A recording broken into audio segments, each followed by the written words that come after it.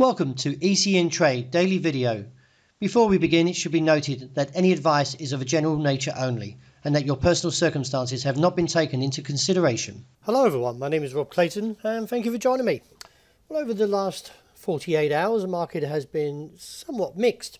The dollar index, starting with, which measures the greenback strength against a basket of six major currencies, still remains directionless after taking a short uh, move to the downside yesterday towards the region of 101.15 and rebounded back to 102, now currently hovers around 101.80.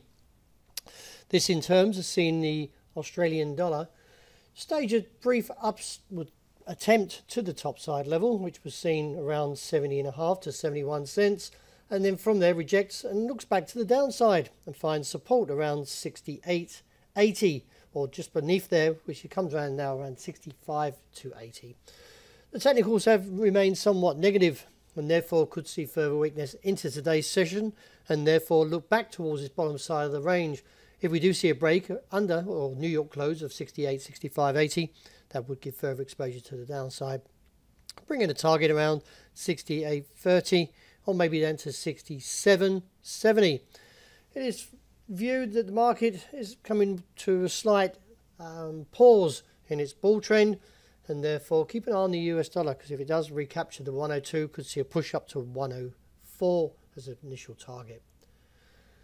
Since the market took the challenge to that top side level around 109 the market is still a little bit mixed however from the New York close I do like the way this pattern is set up and therefore could see further tests towards 108.45 to 108.85 and still viewing the cap roughly around the region of 109.45 to 65.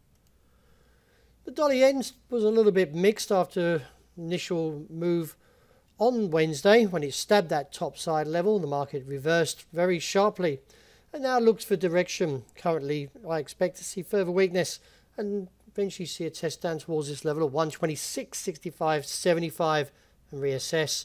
The technicals are somewhat negative. That does support this view.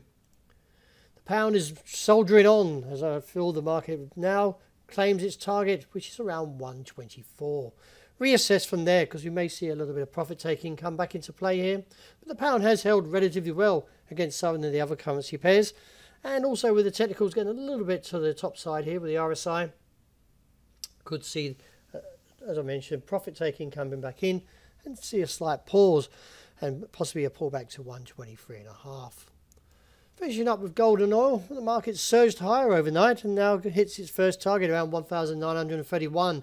And from this measured move that I put in a few days ago, which comes from this pattern here, that does expect to eventually see the target reach somewhere around 1,950 to 55 area. From there, I anticipate profit taking coming back into play. The market still respectively holds relatively well, that is above the midway point, which is supporting this bullish case.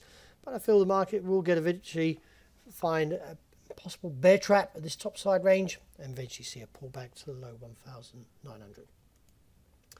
Oil was a little bit erratic, couldn't break through the downside support level, which is seen roughly around 78, 50, 80.